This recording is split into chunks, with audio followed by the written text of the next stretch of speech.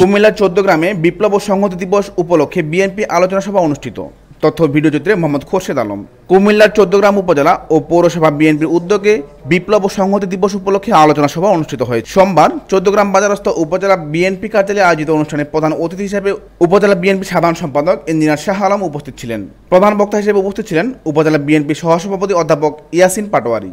পৌর বিএনপির সদস্য সচিব হারুন রশিদ মজুমদারের সভাপতিত্বে ও উপজেলা বিএনপির দপ্তর সম্পাদক গিয়াসুদ্দিনের পরিচালনায় সভায় বিশেষ অতিথি হিসেবে উপস্থিত ছিলেন উপজেলা বিএনপির সহ সাধারণ সম্পাদক বেলাল হোসেন পাটোয়ারি, উপজেলা বিএনপির সাংগঠনিক সম্পাদক নুরুন নবী পাটোয়ারি, পৌর বিএনপির যুগ্ম আহ্বায়ক প্রভাষক ইয়াকুব আলী, গাজী শহীদুর রহমান, উপজেলা বিএনপির স্বাস্থ্য বিষয়ক সম্পাদক ডাক্তার মীর আহমেদ মজুমদার, উপজেলা যুবদলের সিনিয়র যুগ্ম সাধারণ সম্পাদক জামাল উদ্দিন মামুন পৌর যুবদল নেতা মোহাম্মদ হাসান, উপজেলা স্বেচ্ছাসেবক দলের আহ্বায়ক মোহাম্মদ খোরশেদ আলম, উপজেলা বিএনপি সহ ছাত্র বিষয়ক সম্পাদক শাহনিয়াজ মজুমদার সহ উপজেলা বিএনপি যুবদল, ছাত্রদল, স্বেচ্ছাসেবক দল, মৎস্যজীবী দল, কৃষক দলের বিভিন্ন পর্যায়ের নেতাবৃন্দ উপস্থিত ছিলেন।